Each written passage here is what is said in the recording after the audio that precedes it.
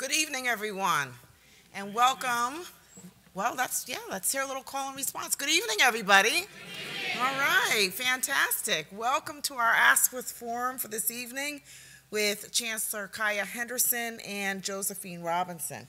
So the first thing I want to do is just to remind you that our Askwith Forums are a series of public lectures that bring leaders in the field to share their knowledge with us, to generate spirited conversation, and to offer insight into the highest priority challenges facing education. So the forums are a prominent part of our school's outreach efforts, and we encourage you to join us in many of the forums that we're going to have uh, in the upcoming year. So I just want to tell you a little bit about the format for this evening. This is going to be a moderated discussion.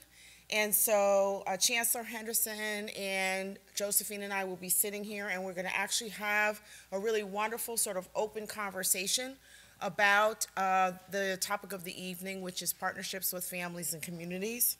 And we are going to circulate cards to you for questions. And I'll give you a point uh, in the evening where I'll ask you to start thinking about your questions. And what's going to happen is they'll be collected. You'll, uh, I think, sort of pass them to the ends of your rows and then I will select some questions uh, for us to ask. That way I think we can get more questions in that way. And so what I'm going to do now is I'm going to read the introductions of our fabulous guests, and then we're also going to show you a short video about celebrating the fifth year anniversary of uh, Chancellor Henderson's tenure in DC Public Schools. So first, let me read their bios. So Kaya Henderson has served as chancellor of the DC Public Schools since November 2010. Under her leadership, DCPS has become the fastest improving urban school district in the country. Henderson joined DCS. Let's, that gets a round of applause. Yes, it does. Uh, Chancellor Henderson joined DCPS in 2007 as the Deputy Chancellor responsible for overseeing the Office of Human Capital. Prior to joining DCPS, Henderson was a partner at the New Teacher Project and Executive Director of Teach for America DC.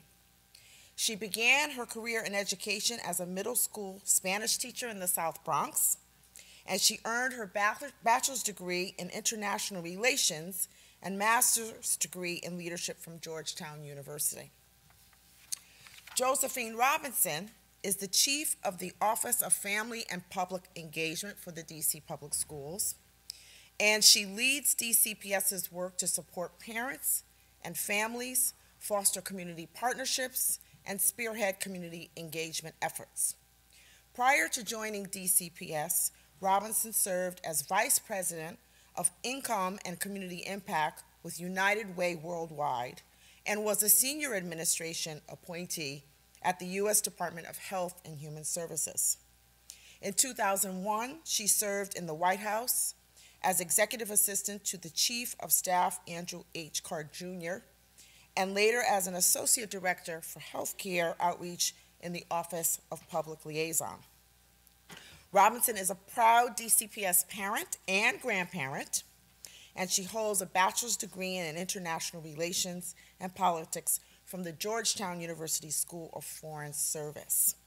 And so before I ask our illustrious guests to come join me on the stage, we'd like to show you a video that talks about the accomplishments of our two guests and of the DC Public Schools.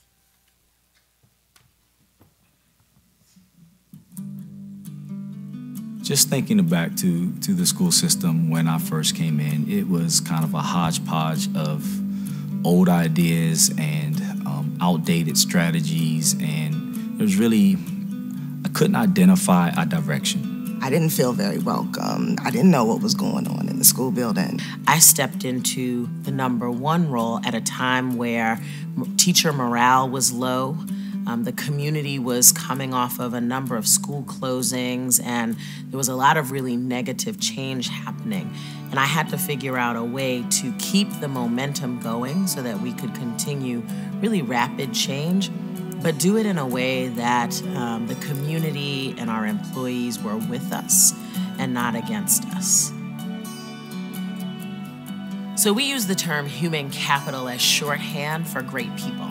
So when I think about human capital, I think about the opportunities we have to grow our own talent, the opportunities we have to create um, professional growth and really professionalize education. DCPS has done a great job in making sure that teachers have the opportunity to grow and that teachers, when they're working hard, they're compensated for that work, they're recognized for that work, and they also have leadership opportunities as well.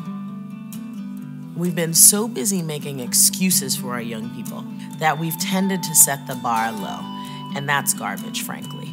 We know that if we set the bar high, they'll rise to it. There are curricular resources that um, are driving rigor of the content that every student is exposed to. When I first started teaching, we had a set of textbooks. I didn't even have enough of those, and I literally was going kind of page to page versus having some smart, cohesive sequence of, um, of standards that I'm teaching that scaffold and build student learning. I know I'm being challenged when I feel that I got to push harder. I always say we are DCPS and we can do this, but we can't do it alone. It takes partnership with our stakeholders, our most important people, uh, our students, our families, and our community members. The fact that the teachers and the administration of DCPS care about every student is huge comfort to parents. And I believe that Kaya Henderson honestly believes that parent input is as valuable a tool for helping children succeed that there is. I'm a firm believer in that it takes a village to raise a child. And the school is now part of my village, has become the teachers, the principal, Mr. Cartland, they've become part of my village. Enrollment is up after 40 years of enrollment decline. Our graduation rates are up. Our national test scores are up. Um, you know, all of the, the indicators are pointing in the right direction. Student satisfaction is up. Teacher retention is up. Uh, and we're no longer a broken school district. But by virtually every measure, DC has improved faster than any other city in the nation. And the sense of momentum, um, the hope, the pride, the optimism that exists um, simply would have been impossible to think about 10 or 15 or 20 years ago. Now I feel like there's a very clear vision for where we're going and what we're doing. I feel like there's a positive energy about what's been accomplished, about um, the trajectory that our students are on, that our teachers are on. Five years from now, my major desire, my wish is to become a lawyer, but I think I'm gonna be ready. I'm gonna be ready. And with DCPS, I've seen over the last five years a metamorphosis of trust and um, transparency. So, five years ago, um, I think nobody would have been able to predict how much progress we've made in such a short amount of time. I want us to be the national model for what a great urban education looks like in America.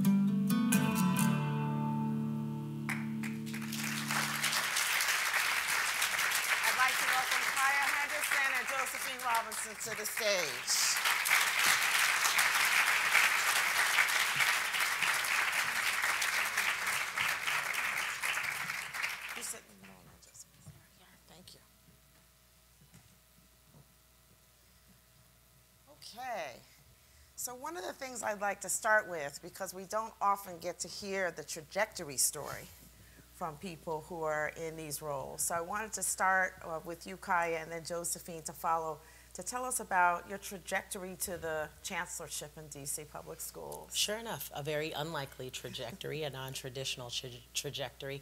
Um, as you mentioned, I started out as a Teach for America alum. Teach for America's in the room. Thank you. Don't be ashamed. Um, I started out as a Teach for America corps member in the South Bronx, teaching middle school Spanish.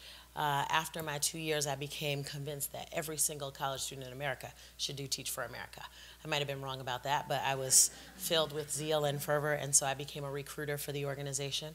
Uh, I was promoted to National Director of Admissions after a year of recruiting. Um, and at the time, it was probably one of the most important jobs at Teach for America because if we didn't recruit 500 at the time corps members, then there would be no Teach for America. So no pressure. Um, I went from doing that for three years to running Teach for America DC. Wendy Kopp asked me to go uh, back to Washington. I had been in Washington for undergrad at Georgetown. She asked me to go back to um, support the DC office, which at the time was very small. And that began my love affair with DC public schools. Um, I supported the corps in DC for three and a half years and then uh, moved on. I actually almost ended up here at Harvard, which I don't think many people know, um, but I was interested in the urban superintendent program, not because I ever wanted to be a superintendent, um, but because I wanted to understand what superintendents were learning and why they were not focusing on human capital as the key strategy for uh, moving student achievement. Um, but I got snatched up by a job at the New Teacher Project, and I was there for seven years, and it was amazing. I got to work with school districts all across the country, helping them think about how to get and keep great people. And then in 2007, when Michelle Rhee was asked to come be the chancellor of DC Public Schools, she asked if I would go as her deputy chancellor, and I said yes. And then in 2010, when she left DC Public Schools, uh, I got the very lucky opportunity to stick around and move into the chancellorship, and it's been the most amazing five years of my life. Mm-hmm. Now, did you always think that being chancellor was something you wanted to do? When they asked you, did you say yippee yay? You know, what, what, was your reaction? Uh, being chancellor was never something that I ever thought that I would like to do. When they asked me, I said no, thank you. Um, I had a life. I had friends. I was having a good time, and uh, I didn't want to give that up to be the leader of a, an urban school district, right? Um, I didn't see any urban school district leaders who I wanted to be. Um, I felt like they were challenged. You know, people scream at them all the time. The work is hard, and uh, I wasn't really interested. But because I had spent three years uh, attracting and retaining really good educators in the district, um, they are the ones who said to me, well, we want you to stay. We'll stay if you stay. And the thought of watching all this talent leave the public schools, uh, where I fundamentally believe that any organization is only as good as the people in it. And so watching all of these really good people sharpen up their resumes and get ready to go um, was troubling to me. And um, they repeatedly, I mean, I got calls and emails from teachers and, and administrators who said, we'll stay if you stay. And so I stayed, and it's been awesome. Great, thank you, thank you. So Josephine, tell us about your trajectory. Sure. Well, when you come out of school, you don't necessarily have a chief of family and public engagement as a job description role. Uh, so I have a very non-traditional path in that I am not an educator. Um, I did. I've never taught in a school. Uh, and my career was plotted along the idea that I was going to be a foreign service officer, I was going to um, come out with my international relations and political degree, and you know, be an international player, if you will. Um, life was a little different when I got out, as in I got out and I started a family immediately. I got married right out of school. Uh, and so it was very, is a very different path that I would have to take. Um, and as my bio shared, uh, I've been in politics though for some time. I was first a lobbyist, uh, working in the pharmaceutical industry, hence the healthcare piece, um, which still doesn't make a whole lot of sense when you think that I have an international relations degree, but um, very much interested in the politics of what lobbying is and working and advocating for particular issues. And so when you think about that work, when you think about the work that I've done at the White House um, as a public liaison person, it is all about advocacy, outreach, engagement, issues. And I took that experience of doing those roles to my position at United Way, where I worked with the 1,200 plus United Ways across the country, and they were focused on uh, human services and uh, income stability within families. Uh, and so that work, again, it's policy work, it's national, it's about how do you take what is happening in communities and imbue it in policy and make certain that the things that you do as an organization are reflective of what a community needs. And so that set of skills, if there is any, that's transferable. And so when I got the call uh, from my good friend, uh, Kaya Henderson, to say, we, we need somebody with your set of experiences who knows how to talk to people, who knows how to listen, who knows how to actually take what people care most about and transfer it into the policymaking experience. Um, that is actually what spoke to me. But first and foremost, I'm a parent. Um, my children have been in DC public schools since 1995. So this is, I have 20 years of DC public school experience. So first and foremost, I'm a parent who's experienced the entire evolution of what DC public schools has been, what we are, and where we're going. And so that's the experience that I bring to the role that I believe that um, Chancellor Henderson saw in tapping somebody like me, somebody who could take the personal set of skills that were needed to transform policy, but also having lived in a system uh, and wanting and needing something better uh, for my children and experiencing it firsthand. Uh, as a parent, as a PTA uh, president, um, I served for a number of years in my neighborhood school in that role. And so, again, I might not have come out of school with a degree in education or worked in a school, uh, but having lived in and through it and worked in communities, uh, I believe that I bring a set of skills that help uh, the, the, the, district do the work that it needs to do on behalf of our families. Mm -hmm. Okay, thank you. Thank you both.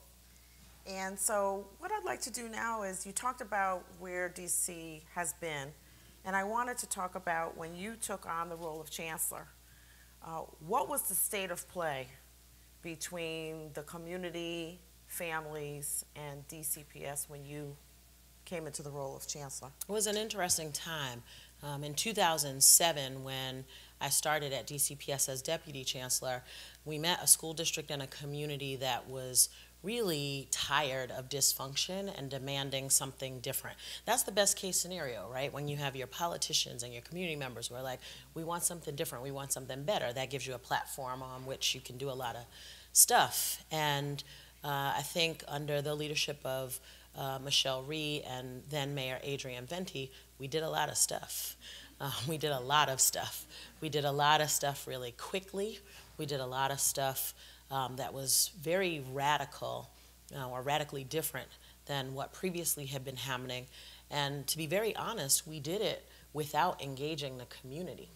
And so um, the community felt like school reform was happening to them. Um, teachers felt like school reform was happening to them. And um, in some cases, people were good with it. In lots of cases, people were not. And what I've learned over time is even if you have the best ideas in the world, um, if people aren't with you, then those ideas won't stick. And those ideas sometimes never ever get the chance to see the light of day again. And so when I came into the chancellorship in 2010, um, it was a very difficult time. People were tired of school reform. We don't want school reform. This is for the birds. People had been fired. Um, we had closed schools and um, done it in really one of the most disrespectful ways possible to the community. Uh, I think my like all-time low of being in DC public schools was um, in 2008 when we were closing 26 schools we were required to have a meeting at every single school that we were going to close. And uh, under the direction of the mayor, uh, we had 26 meetings, all on the same night, all at the same time, and it snowed. And we should have canceled, and uh, we didn't. And if you were at a meeting, there were a group of us sitting on the stage, and if people said, Why are you closing my school? Our response was, We're not here to answer questions this evening. We're here to just hear your perspective. And I'll never forget that evening. Um, I, it was, I mean, it just, it's not how I do business. It's not how I thought we should be doing business. Um, and people were really bitter about that set of closings. And I fast forward to 2013 when I was in the unenviable position of having to close 15 schools. Um, we did it in a completely different way We did it in a way that engaged the community and involved the community um, and made them partners in this really tough decision that nobody wants to make. Um, but by engaging the community, we came to much better decisions. Um, it was the same time that Chicago was closing schools and they had the big strike. It was the same time that Philadelphia was closing schools and they had people chained to the superintendent's office. And in DC, we had a very smooth set of school closings because we asked the community what they wanted. They helped us figure out the right solutions, and then we gave them what they asked for on the other side. And, you know, I say all the time, I'm a lover, not a fighter. I think you can fight your way to change, um, but that doesn't last very long. And I think if you want sustainable change, um, successful change, you have to do it with people. Mm-hmm, mm-hmm. And so, Josephine, what do you remember about when Chancellor Henderson first came in? You say you were a parent, and so just before you entered or just as you entered, what were some of the things that you were noticing about the state of play between the, the system and the community? So uh, prior to uh, Chancellor Henderson assuming the, the role, um, I had somewhat disassociated from the school community. I was no longer a PTA parent. Uh, I was involved as it was with my children in particular. I had taken a step back from being engaged in the larger school community conversations. Uh, Why? Why? Uh, one, because there was so much change and turmoil in my immediate schools. Um, the neighborhood schools that I had sent my children to, uh, by the time it got to my third child, I have three children. Um, the two older children have seven and nine years age difference between the younger, but they had all gone to the neighborhood school. By the time my third child got to the neighborhood school, uh, they were on their fourth or fifth principal. Uh, and that was not um, something that uh, instilled a lot of confidence uh, in me, and the, and the turnover, the churn, uh, is, was disruptive, is disruptive um, in communities. And so I lost confidence in the district as a whole. Um, and so I relied upon myself as, an, as a parent who was looking out for her own child and disengaged and made different choices about where my children um, were going to go to school. And we tried different things. We actually left. Um, one, one of my children wound up going to a, to a Christian school. Um, and that was, a, that was a special, that was a choice that we made uh, because of the disruption, if you will. Now, fast forward to, um, to Michelle Rhee and, and Kaya Henderson, and there was confidence being built in at least the change that was happening. I started to see that um, school leaders were speaking and speaking differently. Teachers were being paid. Um, that was one of the things that we heard, the, the, the fact that school didn't open on time, uh, that my kids didn't have schedules on day one, and then over time, uh, with this new leadership, I started to see that. So I started to regain some confidence. And so by the time I got the call, there were, there were things that had changed in the system that were visible to me as a parent who was not as engaged but knew that things were changing. Um, and so I could, again, put myself forward. Um, and I wanted to be a part of the change that I knew that was coming because I knew the work that was going into the school. And I couldn't sit back uh, and not, not participate. Uh, that's not my nature, if you will. If you want change, you have to be a part of the change. Mm-hmm. So we have Chancellor Henderson, you coming to the district, you recognizing that there was a real disconnect between the community families and the district. So what were the things that you did uh, at the beginning of your chancellorship to sort of change this dynamic? Um, so I spent a lot of time out in the community uh, with our families, with our teachers. I did um, teacher listening sessions. I did living rooms uh, where you just go and you sit down with a group of parents and hear from them about what's important to them. Um, and yeah, I just spent a lot of time talking to people and rebuilding relationships.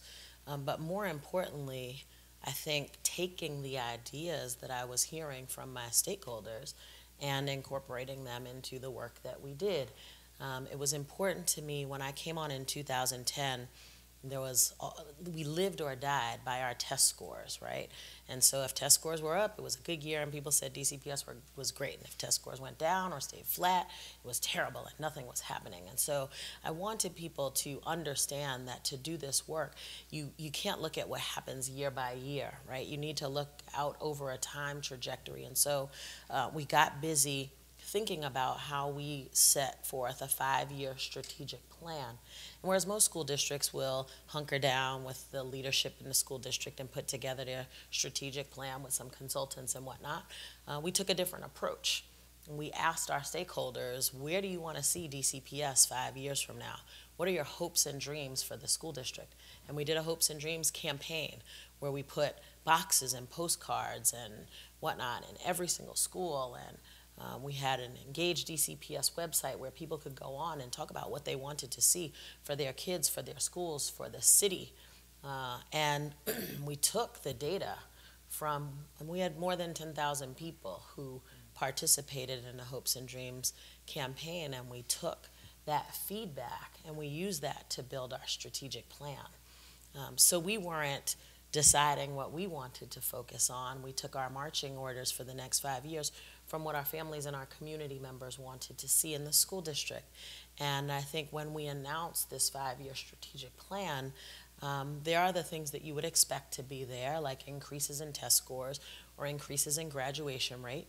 Um, but it was also important um, to our families that their children feel safe and happy in their schools. And so one of our big five goals is that 90% of our young people will love their school. And when we're talking about our five goals, and I get to that goal, people chuckle. And it's very serious for us. I have kids in DC public schools. I have one left, one graduated, praise God. Um, but I have a fourth grader, and um, he spends more time in school than he spends with me. And so I want him to be happy. I want him to feel safe and affirmed and encouraged. I want to develop his talents in addition to his test scores. And so that is serious for us. It's not a nice to have, and it's what our families want. It's what we want for our young people. Um, so we built our strategy around what our families said they wanted after doing a lot of listening.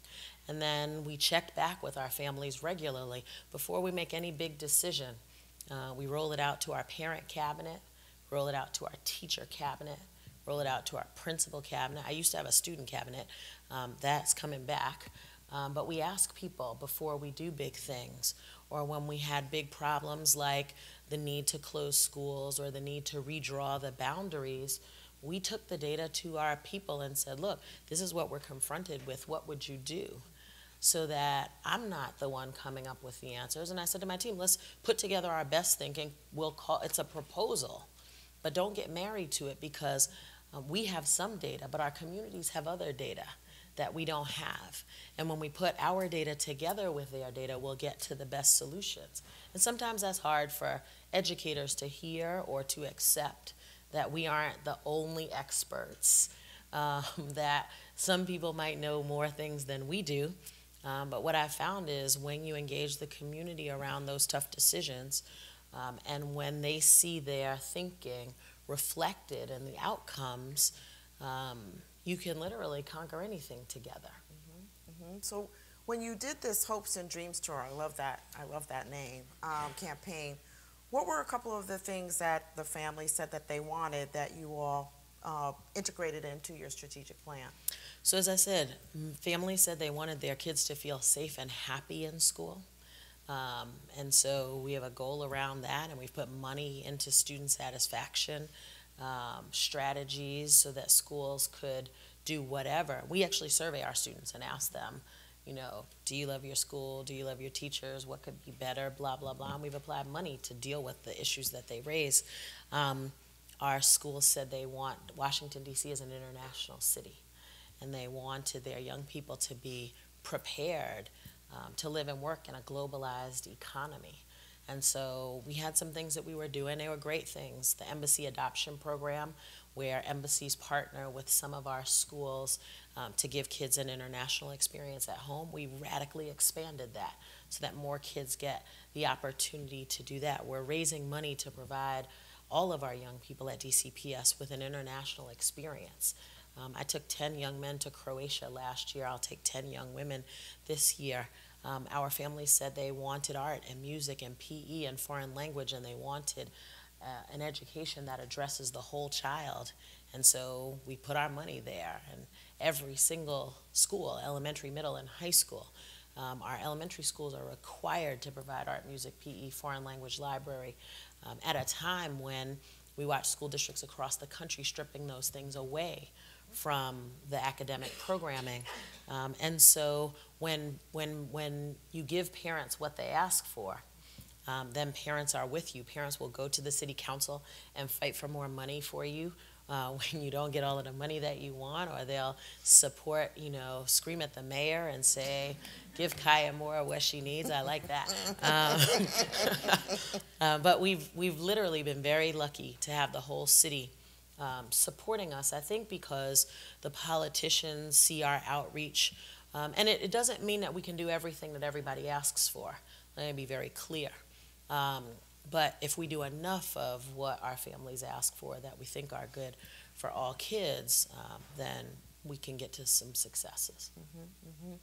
And, you know, and for both of you, you know, I do a lot of work around the country where I talk to districts about this. And one of the things I hear the pushback is, but doesn't this approach take a long time? I mean, if we've got to talk to all these community people and all these families, I mean, uh, we got to move fast. I mean, this, this is going to slow us down.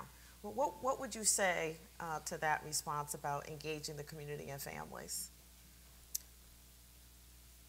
To go I mean, the title of this seminar is if you mm-hmm. want to go fast, go alone. If you want to go far, you go together. Sometimes the urgency is just that urgent, but you leave people behind, and then the work that you've done is no longer sustainable. It's no longer um, felt as if they had a role in it, uh, and that is critically important. Uh, sometimes you have to take a step back to go forward. Uh, and that's what's what we've seen with the work that we've done. When you take the time to help people understand uh, why you're doing something, when you've taken the time to listen to the input, when you've been transparent with what you know, when you know it, it hits people exactly where um, where they need uh, to know that this is the right thing, and they go with you, and they champion it, and they show up, and they show out uh, which is what we've seen. And so, in good ways. In good, in very good ways. They used to uh, show how in not so good ways. Uh, but it's reflective in our community meetings and discussions where people are showing up and they are giving us real tangible information because they know that we take it, we listen to it, and they see it reflected in the results and we show them. We're deliberate about showing them what we've done. So it's not just saying it, it's showing uh, what we've done with the information and the investments that people have made with their time, talent, and efforts. Mm-hmm. Mm-hmm.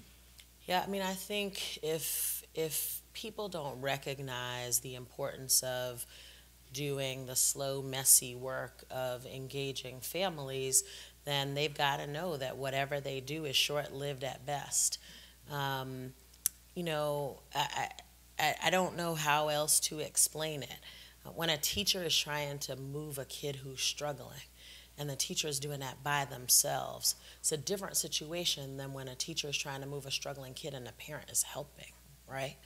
Um, we all do better when we're working together. And so um, I, I think this whole, I think the urgency thing is a red herring. I think it's a red herring. I think it's being used to scapegoat or to attack people who don't share your view or your strategy. Um, well, we got you. You don't understand how urgent this problem is, right? We're talking about people whose children are in your schools. Of course, they understand how urgent this problem is, but it doesn't give you license to just roll over folks, right? Um, I also think that you know, one of the most important parts of leadership is change management. And you have to be clear about how much change people can take at any one time. And I think we had been in a situation in DCPS where um, there was too much change, and if we kept going really fast, um, and if we kept being so urgent, um, we were in danger of losing the whole entire thing. And I think there are examples of that across the country where superintendents went too fast and didn't have people with them, and now they're unemployed. Um, and you know, I'm, I'm good about job security. I can find another gig. But I think, you know, you don't do this work and, you know, make the sacrifices of time from away from family and stress and all kinds of things to watch it all go backwards because you mishandled how much change people can take. Um, so I think it's really important to always have your ear to the ground, to know where your people are, and to have a dynamic tension between, you know, pushing fast, but also understanding when too much is too much. Were there any key seminal moments for uh, either one of you when you were doing this family and community engagement work that really hit you and you said, wow, this is, this is where it's at? Was there a moment or a, a personal story that you could share about that? I think the moment that you hear, and I will generalize a little bit, a parent say, a teacher came into my home and they just listened to me and they heard, you know, all the great things about my, my child and nobody judged me. Uh, and I feel connected in a way that I haven't been before. And that's in large part what our home visit uh, family engagement work has been able to do is establish trust and relationships. So it's been, I still get caught in my breath when I listened to a parent. You heard one of our parents, Keisha Cox, um, on the video talk about the village, if you will. And we get these stories um, every day uh, from these families who say how transformative it is just because someone in that school, particularly their child's teacher, has taken the time to get to know them, to get to know their child, and to call them a partner um, and see them as somebody who has value um, to the, uh, the entire educational experience. That's transformative um, for us as a district, but, but I think it, it, hits me every single time when I hear those stories. Mm -hmm. Um, I think a low transformative moment was that night when we did 26 um, meetings all together. It just didn't feel right to me. Um, and um, it didn't feel the way I would have liked to be treated um, if I was on the, the receiving end of that.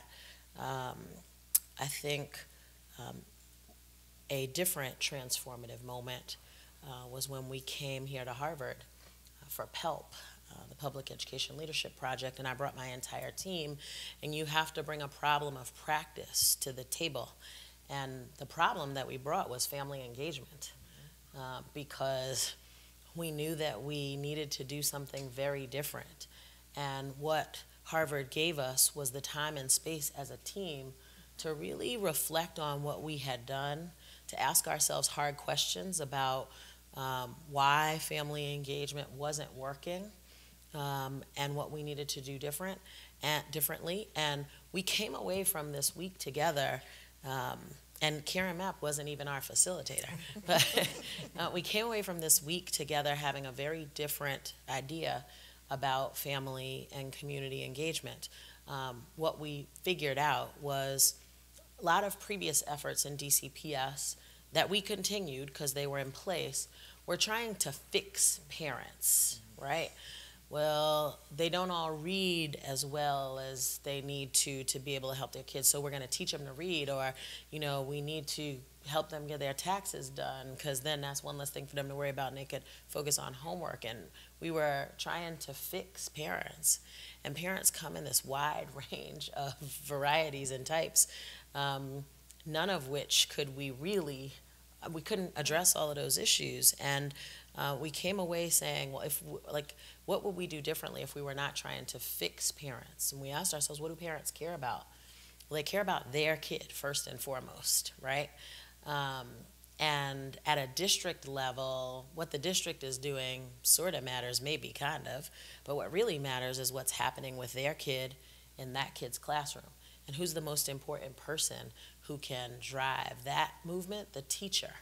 So, how do we get teachers as the front lines of family engagement? Not Josephine's office and the 15 people in the district, but how do we get teachers to drive a different relationship with families? And then, what do parents care about secondarily? They care about the school community that their student is in.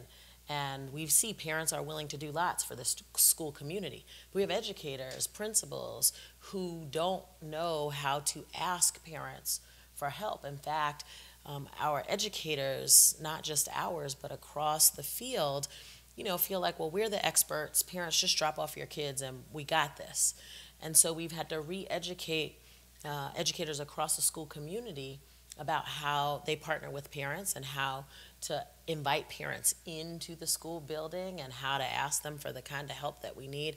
And so we just reoriented our thinking, um, I think, from a, a, away from a deficit perspective way of thinking about parents, that they were problems to be fixed, um, and moving to an assets based uh, way of thinking about parents as partners, uh, valuable assets that could help us do our work better. And even after we had that epiphany, it took a while to figure out how to put the structures in place. Uh, we were fortunate enough to work with a great foundation because school districts are doing 750 things. And so we knew that we wanted to do something different around family engagement but we didn't have the time or the capacity to figure out what best practices were. And so we were able to engage a local foundation who went out and scoured the country to figure out what the best practices were in parent engagement and brought that back to us. And then we were able to build structures and build capacity in our schools and with our educators to be the front lines of family engagement. And it has been totally transformative. And is that the work with the Flamboyant Foundation? It is. Could you talk a little bit about, so you, you came to PELP, I remember that, and I remember sitting in on the presentation from DC and saying, wow, this is fabulous. Um, could you talk a little bit about some of the specific initiatives, both uh, that you did with your teachers going into the homes, but you know, one of the things that I was fortunate enough to be able to do was work with the Department of Ed and collaborate with them on the dual capacity framework for family uh, and school partnerships. And so one of the things we talk about is different initiatives that have to be put in place to build the capacity of staff. So could you talk about some of the things, some of the actual initiatives that came out of that work? Sure. Do you want to talk about a bit more specific? Sure. So again, in partnership with the Flamboyant Foundation, they did go across the country and they um, determined that the home visit uh, model was one of the most effective ways of driving um, change within a school and their school culture and creating partnerships um, between parents and, and, and, and teachers in the classroom. And so that's the, the principal um, uh, foundational aspect of the work is they train teachers uh, to effectively establish relationships with parents in their schools and know how to go into um, a relationship by talking first with families and and invite and being invited into their homes or wherever the, the parent is comfortable. And just getting to know um, these parents what their hopes and dreams are for their child who their child is, and they often do this work over the course of the summer in advance of the school year um, so that they can create a foundation um, of trust, if you will, so that the first uh, call, the first letter, the first communication with the family is not something that their child did wrong, but it's, it's a reinforcement of um, some positive things that they've learned or done uh, with, with their child over the course of um, teaching them throughout the school year. But it's been established through these home visits um, and on the front end. Uh, they also work with the families to transform the parent-teacher conference. Oftentimes, parents um, either don't go for a variety of reasons or the, they don't get the best use out of a parent-teacher conference. They're not often, some parents are not often equipped um, with information about how to make the best use of, of um, these conversations with teachers about their child's progress. And so these academic parent teacher team meetings um, are a new model where the entire class um, of families uh, come together and they, they work together looking at the progress of the class as a whole. And parents are given information about their individual child's um, progress somewhat uh, compared against the rest of the class uh, in a, um, uh, it's confidential, so they get a number and they can track their child's progress against the other students in the class. But that actual ability to see where their child is in comparison to others and to know what is being taught in the school uh, is something that is helpful to a parent to better understand their child's academic trajectory, but also they come away equipped with tools um, and information so that they can go home and support their child's learning. And so they often teach these small um, lessons to, to parents with little tricks, if you will, um, that they can take home with them. And so that's been really effective in helping parents understand what's happening during the school day and figuring out how to actually help their child at home in small ways. It's not making them be teachers, if you will. They're not asking them to do their jobs, but they're asking them to support the learning. And that work is just one piece um, of, of, the, of the framework within Flamboyant. We also look to, we have to train the teachers to be able to do this. And so the Flamboyant Foundation, in partnership with staff in my office, actually coach um, teachers on how to have effective conversations and how to share information um, with families so that they're not left out on their own to figure this out. The teachers work um, in pairs. Um, with another co-teacher, uh, and so they're they're oftentimes building a cohort or a community um, in their schools. And there's a whole school model. A whole school can do this uh, work together, or we've set it up where if the whole school isn't ready to do every single teacher um, in a school, we allow teachers to learn the same aspects of doing this work as part of a fellowship. Um, called the Family Engagement Collaborative. And all of this is in partnership with the Flamboyant Foundation.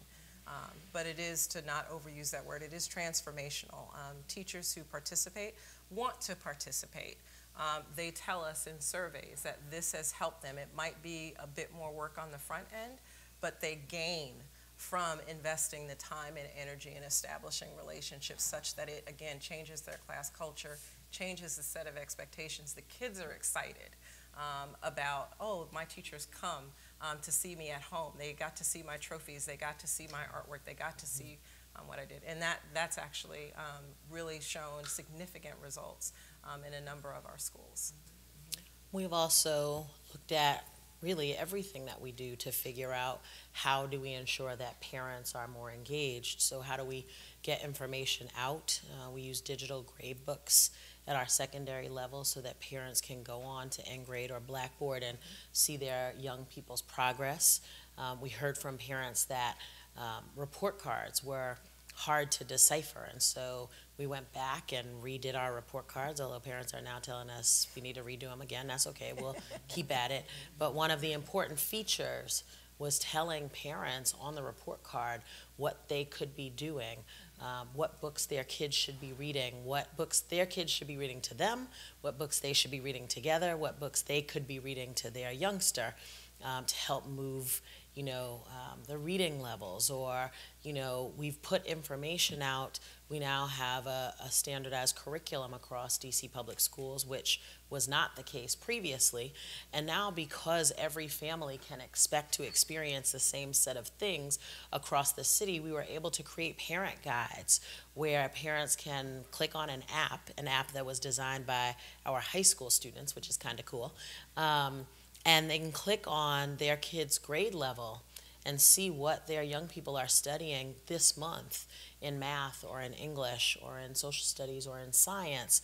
And there are tips around what field trips around the city uh, would be great to support this particular kind of work, and there are discounts that go along with that and whatnot. Um, you know, we've thought a lot about how we ensure that parents know that we want them to be participants in their children's learning and exploration, and we don't think that we can do it by ourselves. I say all the time, we are DCPS and we can do this, but we can't do it by ourselves. We can only do it in cooperation with our families. Mm-hmm, mm-hmm. And could you talk a little bit about how you are working with your school leaders? Because as we all know, the school leaders can make or break the family yeah. engagement work and the community engagement work. So, uh, you know, I know when uh, I was talking at lunch to Chancellor Henderson and Josephine about when I was in Boston. I mean, we had principals like Bill Henderson, who was sitting over here to my right, who were very, very good at engaging families, but not everybody was all that excited about doing that. So what, what kinds of things have you done to really cultivate that kind of culture? So I'll give two examples. One for aspiring principals. We train our own principals. Uh, we have a a program called the Mary Jane Patterson Fellowship. Mary Jane Patterson was the first African American principal in DC public schools, and we've named our principal training program after her. And a significant part of that training uh, is family engagement. The work that Josephine talked about the home visit work, the academic parent team teacher meeting work, the how do you create a school culture that is welcoming to parents. We actually train our aspiring principals on that work so that when they become principals, they have the skill set, the capacity, and a disposition to do family engagement work and they don't have to be convinced to do it. Um, for our sitting principals, uh, I think we do two things. One is you know, you start with the coalition of the willing, right? And the principals who are into this um, will take it and run with it. And then you put them in front of their peers to talk about the work.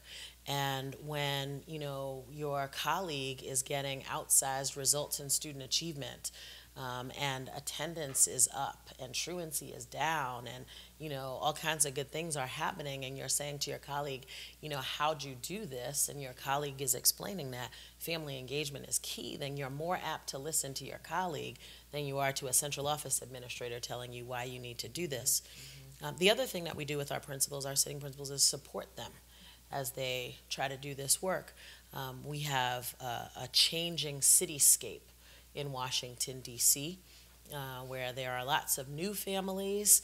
Um, and there are tensions between older families and new families, and principals are having to lead in changing neighborhoods and changing environments.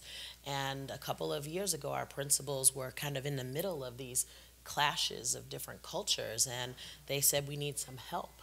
And so we contracted with some people who are pretty expert in um, helping leaders deal with issues of diversity, race, class, and not running away from those issues, but uh, providing our principals with the support that they need to be able to have difficult conversations or to be able to help their school community understand that all types of families are valuable.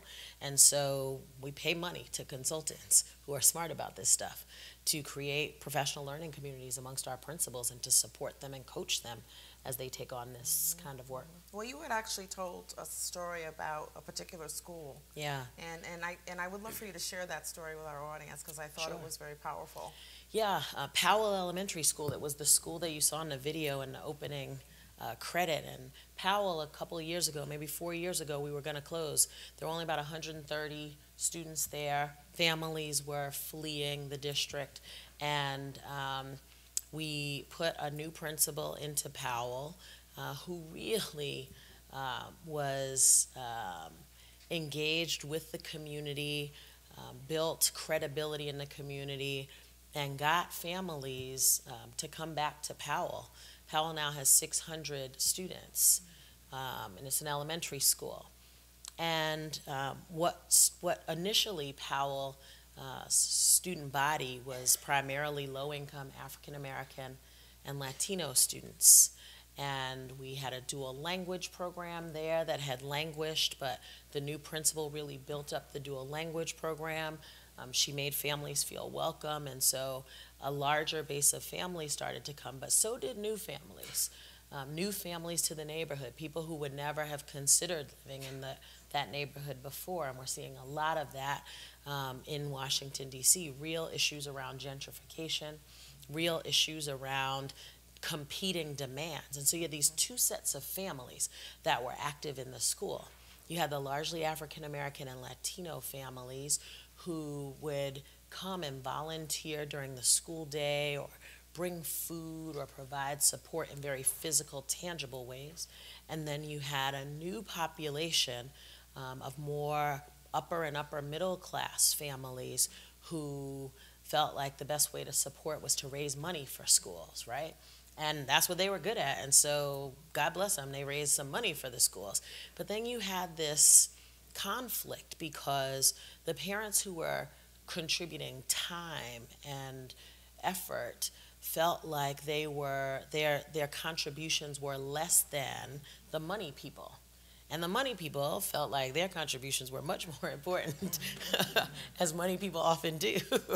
um, and so we had to work with the principal to help her navigate the fact that all of these families are valuable. Part of what makes Powell the vibrant, diverse place that it is is that we've got all of these dynamics happening. And so our team, Josephine's team, literally went to every single PTA meeting, and we realized that you've got to have PTA meetings in the daytime and in the evening times because it's inconvenient for one set or the other. And, you know, really sat in the principal's office and helped her work through some of these challenging things. It's slow, it's messy, it doesn't, you don't just flip a switch and it happens. It's relationship building, right? right? And if you're going to build relationships, you have to spend time with people and you have to help communicate to them that they're valued. And right as we were at the crescendo of this work, the principal mm, got married, got pregnant, had a baby, and had to move to Spain. oh my goodness. Which is great for her. but not literally not good for this school community. And we worked with the school community to bring all of these people together and say what what do you want in a new principal? What is what is important? And so they put together a committee. We have community panels when we select new principals. And they selected a very diverse community panel that represented all of the different kinds of parent groups. Mm-hmm. and they chose a principal. And it was a big thing because the principal um, didn't, doesn't speak Spanish, and it's a very heavily dual language school. But they all agreed that she was the right person, and now we've seen, even after the old principal left, we've seen an in, continued increases in enrollment. There are some families who felt like the new principal wasn't going to give them their sway, um, and so some of them left. Um, but more people have come. And we've been intentional about creating this community, but supporting this community and muddling through it with this community and helping the principals, both of them, do that. And that's the kind of commitment that you have to make to this work. And when your teachers see that, then your teachers who go on to be administrators in some cases or sometimes go to other schools will carry that commitment with them. And that's what we're trying to infuse across the district. I say all the time, I'm not the chancellor of the rich people or new people coming to town. I'm not the chancellor of the old people. I'm the chancellor of all people. And so I've got to figure out, and we have to figure out ways to make sure that everybody knows that they're welcome and valued and part of the work that we're doing. So what I'd like to do now is to give you all a chance to uh, write down a question. And did everybody get an index card? We have index cards for you. And so uh, I'm going to continue. I'm going to ask another question, but I'd like you to be thinking about a question. And then as uh, you write them down, to pass them to the ends, and then we'll take some of your questions, okay? So could you both talk about some of the outcomes of this work? So, you know, that's always the question. If we do this work, uh, where's the beef? You know, what, what, what are we going to see in terms of, of outcomes? So could you talk about the outcomes? So the family engagement work in particular, we've just uh, had released about two weeks ago an evaluation from Johns Hopkins University of uh, the home visit work that we've done. And that study followed 12 of our uh, 22 schools. Um, and they absolutely um, controlled for race, socioeconomic class, what have you, so that the results were not ones that would lean one way or another based on the student population, but across the board they were able to see that the results from the home visit work in these schools uh, resulted in 24% increase in student attendance. And students who received home visits were 1.55% um, uh, more proficient, if you will, in uh, reading, reading proficiency. And so there are some real results that we are able to now um, uh, pin to this work. And that's pretty challenging to do is to find this uh, quantitative versus qualitative um, results uh, from, from this work. But it's, it's more than promising. It's a proof point um, that this is meaningful um, efforts that we've undertaken that actually come with results. So we're really proud of that. I think, um, you know, Tom Strike, the parent who you saw, who said, I really believe that Kaya Henderson thinks parent engagement is important. Like, I actually do. And I think that is that has been communicated to parents, um, and they have in return demonstrated their trust in the district. For 40 years, DCPS saw consecutive years of declining enrollment um, until five years ago when we stabilized. And over the last four years, we've grown DCPS's enrollment by 10%. Um, that's huge in a city where there's a new charter school opening every 15 minutes. Um, so we have regained the trust of families, and families are voting with their feet and coming to DCPS in part because um, they see themselves as part of the work that we're doing. Um, you know, across all dimensions, our graduation rates are up, our test scores are up, um, student satisfaction is up, teacher retention is up. And I think all of those have been touched by um, this different level of and way of engaging with families and community members. Uh, we're not the fastest improving urban school district because we're so smart or we're so cute. It's because we've put clear strategies in place and we've engaged our community and our families with helping us execute on those strategies. Okay, all right, so while they're collecting the cards, if we can get them to come forward, obviously, we're not gonna get to ask all of the questions that are in there. I, I suspect some of them are similar, but, um, I'm gonna ask two of my wonderful students to take, take a look and, and pull out some for us. Are there others that we can put in the basket? Um, I'm gonna ask another question before we go to the audience questions. So, when you think about the ed school, places like schools of education, like this wonderful one that we sit in right now, what would be your advice to us in terms of how do we cultivate this kind of proficient practice in, in family and community engagement? What, what would your advice be to us and other teacher or principal preparation or superintendent preparation programs? I mean, first, teach it. Um, I think, you know, we had John King uh, with us yesterday, who is the incoming Secretary of Education. He was talking about some of his challenges as a teacher and how, you know, he wanted to engage families, but he didn't know how, and he went back to his, you know, uh, teacher prep program and realized that he didn't have a class in family engagement.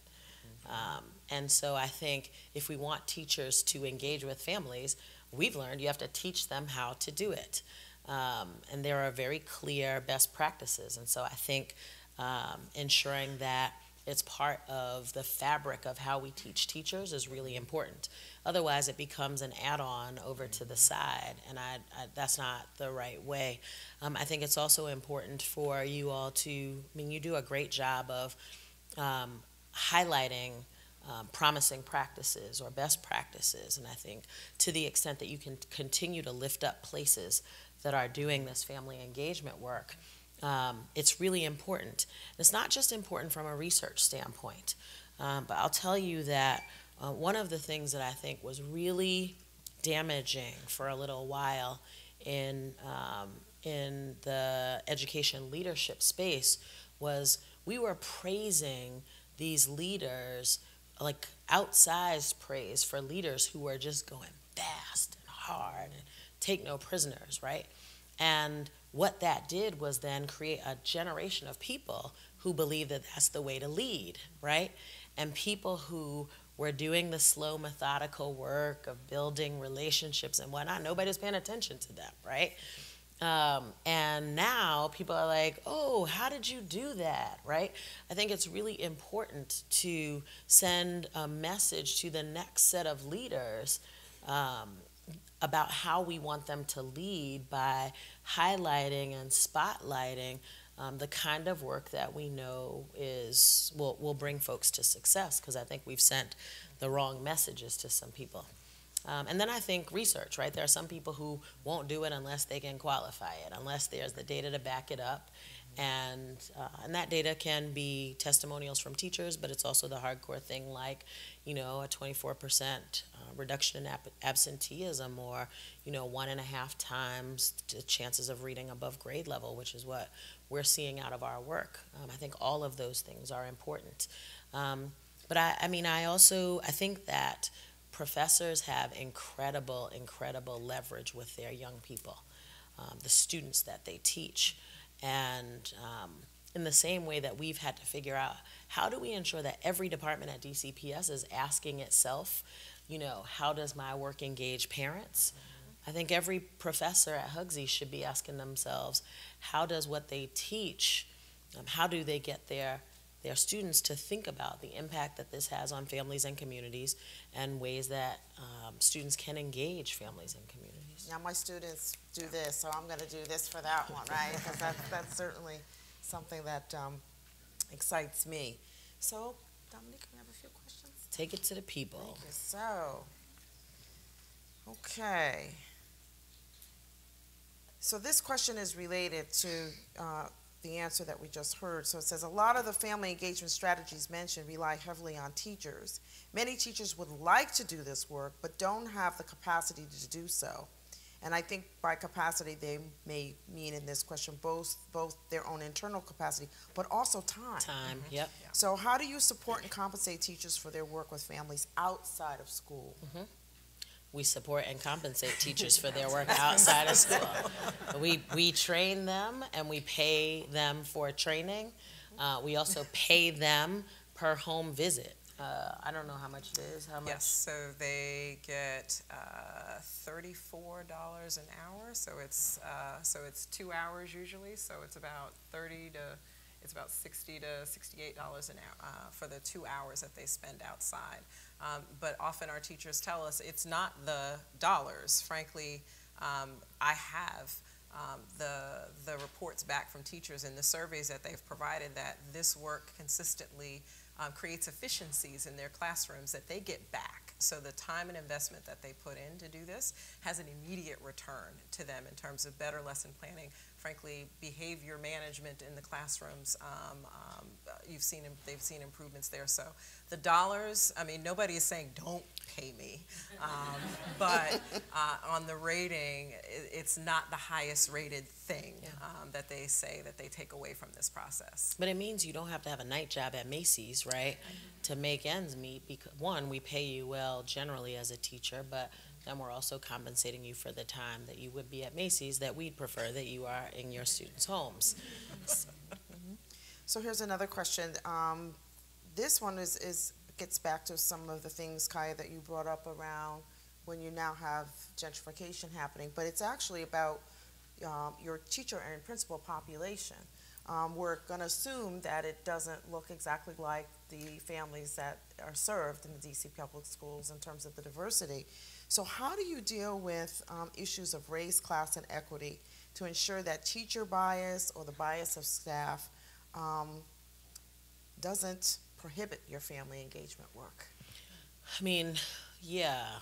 Uh, welcome to how to solve race and class issues in America. Um, if I had the answer to that, I'd be making a lot more money than I'm making now. Um, I think, you know, um, one, um, the, the, the teaching and, and leading corps in DCPS um, has undergone a lot of changes um, but it's still fairly diverse and way uh, more colorful and more representative of the young people we serve than most places. Um, but just because people are your color don't mean that they're your kind, is what my grandmother used to say. And so we find that we have to do the same work with people that look like and come from um, some of the neighborhoods that our young people do as we do with educators who don't. Um, I think key to it is not being afraid to have the conversation, not being afraid to put it on the table. When I think about what's happening across the country right now, it, look, last week was a tough week to be a university president. I was thinking, usually I'm like, "Ooh, this week is a tough week to be a chancellor. Last night I was like, "Ooh, I'll take chancellor because university presidents are catching hell. Um, but, but they're catching hell because they don't want to have the conversation. Um, these issues are real. And they are what our our young people are facing every day, and they're what our educators are facing every day and trying to figure out. And we might not have the answers, but you can't get to the answers unless you're willing to have the conversation. Um, you know, we've been thoughtful about cultural competence.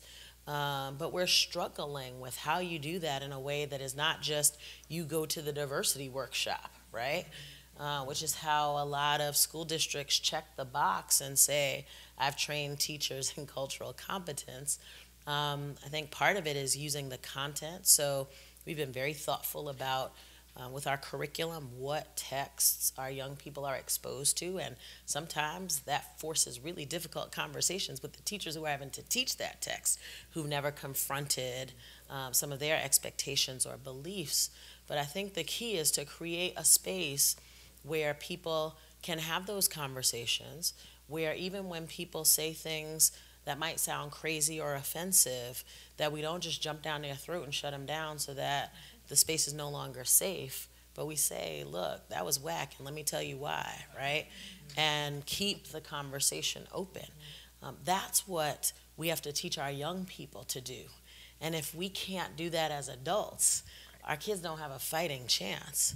Um, it's hard and it's frustrating, but um, you have to I think, you know, we're in the people development business. I say all the time, we take little people and make them good big people, but we also take big people and make them better big people.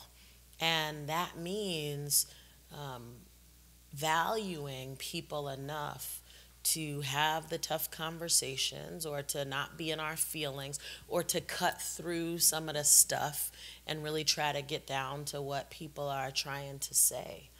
Um, and it's not comfortable and it's not easy, but anything worth doing is hard, right? So we have to remain committed. We have to create an organizational culture where we're okay talking about this stuff and where we're okay saying, I think your expectations for your kids might be a little out of whack. Um, it's also about building systems. So I'll give you a very clear example.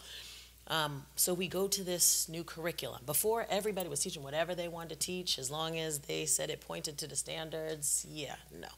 And so um, we created a curriculum that was aligned to the Common Core standards, in part because teachers said, I'm making stuff up and I don't feel comfortable. And I'm not sure that what I'm making up on this side of town is commensurate with what is happening on the other side of town. All right, so we put a curriculum in place. It's good. And so I go out on the first day of school two years ago and I go see two first grade classes that are teaching the same lessons. They are on wildly different sides of town. One is east of the river, uh, where our lowest income and most challenged families are. The other one is kind of mid city, where there's all of this new activity happening. Um, and it same lesson, and one teacher was using the lesson to review um, to review hard consonants, to review the sounds of the letters, right, in first grade. And the other teacher was using the same lesson to have kids write essays about the topic. Now they're in first grade, so writing essays is, you know, was pre-writing, right? And sometimes there were three words on the page before you went to the next page, right? But it was writing and it was narrative and and my press secretary who happened to be traveling with me said, should first graders be sounding out letters? And I was like, yeah, no. Um, but what it conveyed to me is you could be teaching the very same lesson and have very different expectations for your young people. And so I went back to my academic team and I was like, okay, we thought we were all hot because we had a curriculum that was going to ensure equity because people are teaching the same lessons. But in fact, educators' expectations about kids are killing that equity. So, how do we without saying all kids can learn, because, yep, everybody believes that, sort of. How do we actually force teacher practice to be different? And so we came up with this idea um, of projects that uh, interested, engaging, project based lessons that look a little more like the writing exercise um, and challenge kids in real ways, um, and requiring that our teachers teach these lessons. Now, the way our curriculum is set up, um, the school year cover is covered by five units. Each unit has 30 to 35 days in it. And so what we said to teachers is we're going to take one to five of those days. The other 30 or so you can have to do what you want with the curriculum. But for one to five days, you're going to teach a project in each unit. And every teacher in the third grade in the city is going to be teaching the same project at the same time. The lesson is going to be designed by our highest performing teachers, the ones who get this, who have really high expectations for our young people and are, are developing lessons that like you want to be in their classroom, right? You've been in these teachers' classrooms. You go in and you're supposed to be in for five minutes and you're like there for 30, right? And you can't stop talking about that lesson. Those teachers, we paid them over the summer to develop lessons for Um, so one for each unit, and then the fifth unit, we have testing um, in every grade level and in every subject area. So every teacher now, whether they have high expectations for kids or not, they have a lesson in each unit, which really represents high expectations and is engaging.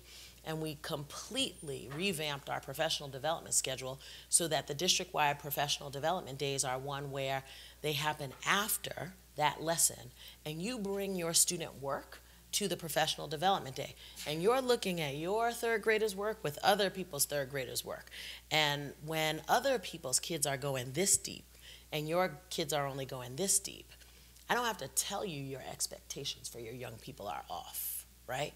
You have to confront the harsh realities that other third graders are doing this level of work and yours are only doing this level of work and what are you going to do differently? And so in a peer sort of way, being driven by rigorous content, we are shifting teacher expectations about what their kids can accomplish.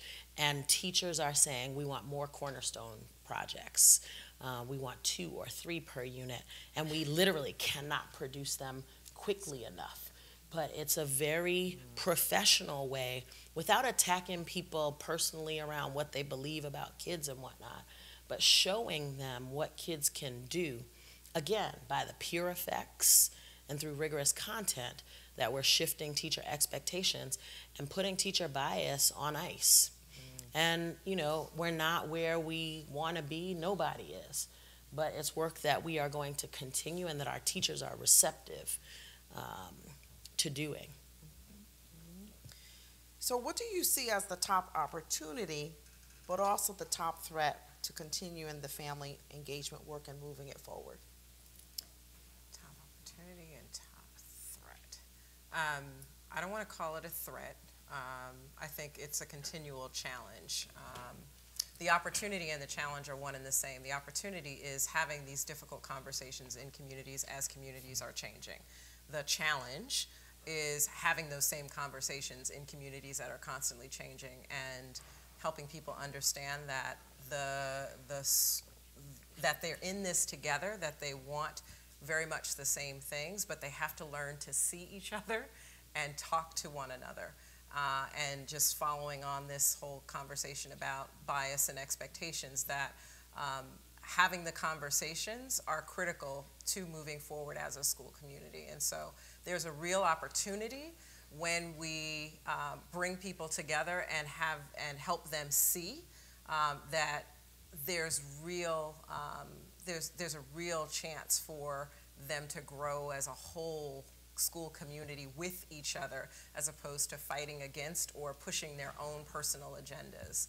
Uh, and so that's what we have to do in the in the community engagement piece. That's what happens when we go into school communities and do this very rigorous hands-on uh, work where we're at PTA meetings or at community meetings. And again, it is about how you actually talk to one another and understand um, that the goals and aspirations that this particular family has are very similar, if not, um, they're not alternate to what your expectations are. Um, they just come at it from a different perspective. And so I think, again, that's an opportunity and a challenge that should we really work hard together, both uh, within the school communities and central office, but the community as, as a whole, we will see some real change happen um, the excitement that we see from families is real. They want DCPS to succeed. They want the schools to succeed, um, but they can't do it without doing it together. Um, I think a couple of opportunities. She's telling you ten minutes. Mm-hmm. There are a couple of opportunities. I know. a couple of opportunities um, to be really creative in how we engage families. Um, we, with our parent curriculum guides, we were able to engage our students around designing an app that would work for families. That's kind of cool. Um, I think uh, we've seen a lot um, of of the um, of the uh, back to school nighty stuff uh, begin to morph into student-led conferences with their parents. And so I think there's a student empowerment and engagement and student advocacy opportunity um, that we could maximize um, by doing more in different family engagement. There are lots of, I think, neat technologically, technological ways that we can um, continue to think about how we engage our families. Um, I think the threat, uh, there are twofold. One is time, and the other is money. Um, the threat is that this is not work where you do it and all of a sudden there's a humongous return on investment immediately. It's work that you have to keep investing in. It means that you have to hire people who are willing to go out and build relationships. And lots of, I mean, every year, even if we get more money, it's less, right? Because the costs rise this much and your budget rises this much. And so still it's a net loss. And so every year we have to figure out how to keep the capacity that we've built. Um, every year we have to figure out how to get teachers more time um, to train on this stuff um, or more money because more teachers are doing home visits and we want to pay them. Um, and I think that, you know, the people who, um, who give us money for our budgets don't always necessarily understand like how you have to make investments over time in order to do this work. Mm-hmm, mm-hmm. So, um, what this question is interesting. Uh, how does mayoral control either help or hinder your family and community engagement work? Oh, uh, I thought you were going to ask a different question. Um, so I, I actually think that, um, and I, you know, sort of alluded to this, you know, who your mayor is matters a lot in terms of how you do your business. And so when we had a mayor who thought community engagement was overrated, we had the night of 26 meetings. Um, when we had a mayor who um, really believed and supported our vision of engaging differently with the community, um, we were able to do very different things. Um, but like any job, you have to manage up. Mm-hmm. And I think uh, what we didn't do with the first mayor, we learned how to do very quickly with the second and the third mayor, well, my third mayor. Um, um, I think mayoral control overall has been a huge benefit for us. I don't think that we could have accomplished all that we've accomplished in these last eight years uh, if we had an elected school board. Um, that's not a knock against elected school boards. It's really um, a particular situation around what we needed to do in DCPS. We needed to make radical transformation happen. We needed to make it happen very quickly, and we couldn't do it by committee. Um, we couldn't do it by convincing a group of people um, about what we needed to do. In some cases, we needed to just go. And it's incredibly empowering as a leader to not have to try to convince people um, that, you know, what about what we want to do for kids, but to go and say, can I do this, yes or no, and move it. Um, and to have then the funds that go along with that, or the laws change that allow you to do that or the political cover when you know things are not looking exactly the way a politician might want it to look. And we've had that.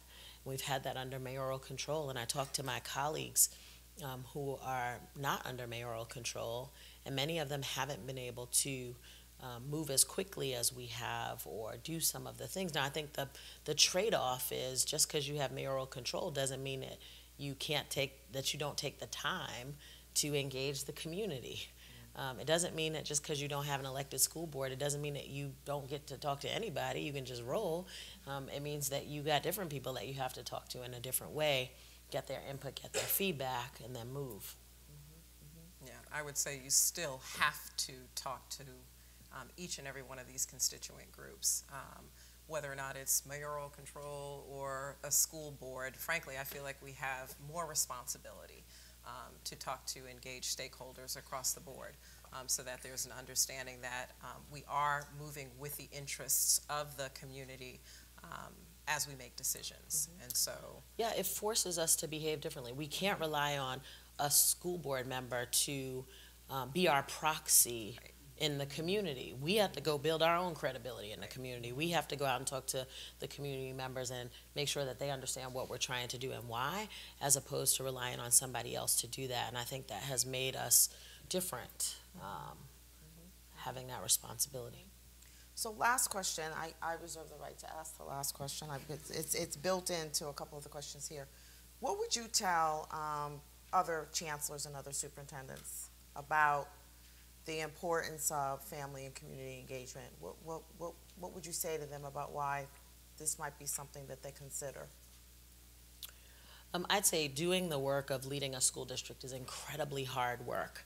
And if you are successful, um, that's a good thing for families and communities. But if they don't, if they aren't engaged in that success, that success can be rolled back really quickly. You could be rolled back really quickly. Um, and so, if you want sustainable change, Tom Friedman is a good friend. The world is flat, the olive branch and Alexis or something, whatever. And um, Tom, yeah, because I read a lot in my spare time.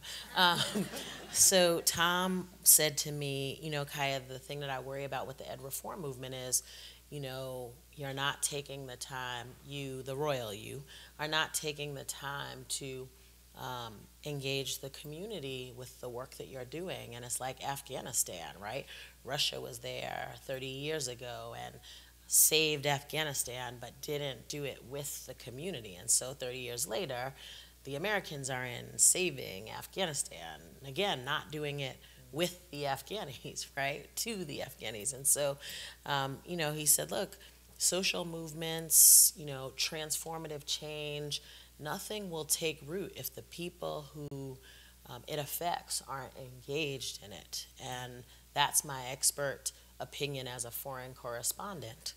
And that's my expert opinion as a, a leader of a school district. That if you don't make the investment uh, as a, a district leader to engage the community, whatever you do is ephemeral. Um, whatever you do, it won't stick. Whatever you do even if it's a great idea, uh, won't take root because people don't own it.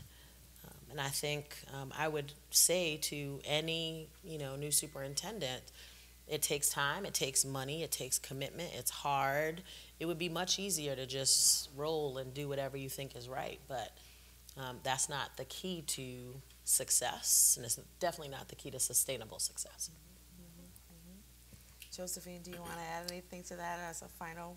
I will comment? just say that the work that um, I and my team do could not be uh, done without the leadership uh, that comes from a chancellor who sees uh, the critical importance of family engagement. The fact that I sit on her management team and I'm not in a corner somewhere or I'm not buried within the organization is, is significant. It gives us the latitude and the platform by which to, to demonstrate to people that the chancellor, the leadership, DC Public Schools sees you and this work as important. Uh, and I don't take that for granted because we see um, school districts across the country who don't have um, the positioning of their family engagement work, um, where it is relegated to a small team and it's called in in an emergency and it's not imbued across um, the entire district. So um, what her leadership represents is a commitment um, to families. And as both a, as somebody who works with her, but at, most importantly as a parent who still entrusts her children, my children and my grandchildren in the system, that is incredibly important to me that I know that every single day um, as both a parent herself, but as somebody sitting at the table making decisions uh, with her and informing those decisions that parents' voices are represented uh, at the table each and every day in everything that we do. Well, I think that's a beautiful note to end on. And I want to thank both of you, Chancellor Henderson, Josephine. Thank you so much for being here. Thank you for having us.